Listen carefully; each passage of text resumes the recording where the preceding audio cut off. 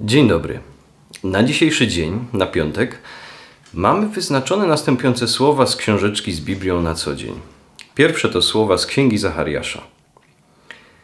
Nie knujcie złego w swoim sercu, jeden przeciwko drugiemu, i nie lubujcie się w krzywoprzysięstwie, gdyż tego wszystkiego nienawidzę, mówi Pan.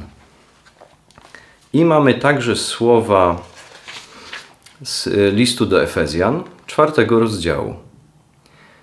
Bądźcie jedni dla drugich uprzejmi, serdeczni, odpuszczając sobie wzajemnie, jak i wam Bóg odpuścił w Chrystusie. Wziąłem ze sobą e, łopatki do piasku, dlatego że dzisiejsze słowa mają wiele wspólnego z piaskownicą.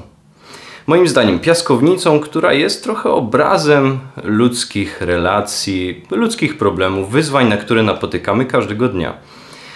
Jako, że regularnie chodzę z dziećmi do piaskownicy, to jestem na bieżąco w tych najistotniejszych tematach. Kto ma łopatkę, kto ma zabawki, kto ich nie ma, jak ją zdobyć, czy można od jakiegoś dziecka wziąć, czy nie. Tam wykuwają się podstawowe zasady życia społecznego. I ostatnio spotkała mnie bardzo ciekawa rzecz. Jako, że mój syn bardzo lubi kopać w piasku, to zaczęliśmy kopać na głębokość i znaleźliśmy przeróżne łopatki, zabawki, nawet szpadel budowlany. To było najdziwniejsze znalezisko w piaskownicy w moim życiu. I zastanawialiśmy się, co z tym zrobić. Dzieci oczywiście chciały wszystko zatrzymać, wszystko wziąć do domu, ale zaproponowałem, żebyśmy podzielili się z innymi dziećmi w piaskownicy. Innymi dziećmi, które y, nie miały akurat zabawek i tak troszkę krążyły, zastanawiały się, co tu robić. I to było bardzo ciekawe, dlatego że moje dzieci podchodząc do innych dzieci wręczały im łopatki i inne rzeczy, które znaleźliśmy i część tych dzieci nie umiała uwierzyć w to, że to się dzieje naprawdę. Zastanawiała się, czy to jest jakiś podstęp, może chcemy je oszukać, o co tutaj chodzi. Aż trudno było uwierzyć, że można być miłym, serdecznym dla innych.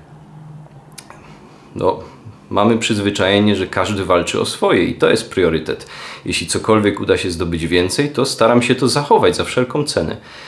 A to było to dla mnie niezwykle ciekawe, dało mi dużo do myślenia i kiedy czytałem, przygotowywałem mm, słowa na dzisiaj, to zastanawiałem się, jak to jest z nami dorosłymi w naszej ogromnej piaskownicy, w jakiej żyjemy w której zasoby są ograniczone, wiemy, że każdy musi zadbać o siebie, wywalczyć też swój teren, że utrzymanie wielu rzeczy w życiu y, nie jest wcale proste ani łatwe. I to może rodzić różnego rodzaju postawy, y, różne sposoby patrzenia na innych ludzi. Sposoby, przed którymi przestrzega nas, przed niektórymi z nich przestrzega nas słowo z księgi Zachariasza, Słowa mówiące o tym, żeby nie pielęgnować wrogości i żeby słowa, których używamy, były tak, tak, nie, nie. Żeby nie przekręcały, przeobrażały rzeczywistości, ale były uczciwe. Słowa z listu do Efezjan idą jeszcze o krok dalej. Wskazują, że nie tylko powinniśmy powstrzymać się od złego, y, ale pójść krok dalej pomyśleć, w jaki sposób mogę pomóc innym, w jaki sposób mogę no, symbolicznie podzielić się też tym, co udało mi się znaleźć, udało mi się uzyskać, w jaki sposób mogę sprawić, żeby ta przestrzeń, przestrzeń życia była lepszym miejscem nie tylko dla mnie, ale także dla innych ludzi. I żeby to wychodziło z postawy serdecznej troski o innych. Takiej serdecznej troski, której doświadczamy w tym, jak Bóg patrzy na nas.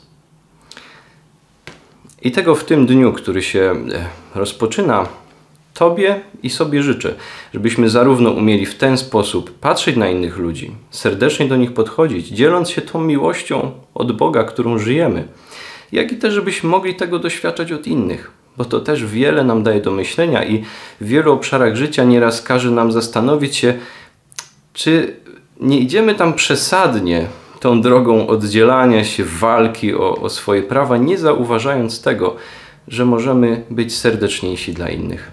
Dobrego dnia.